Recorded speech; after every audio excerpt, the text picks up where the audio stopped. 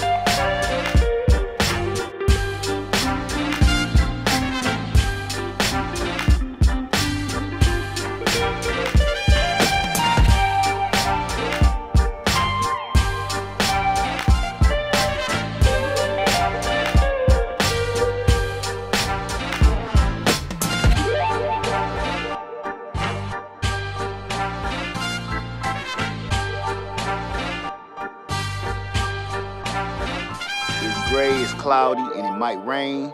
It's supposed to rain tomorrow, and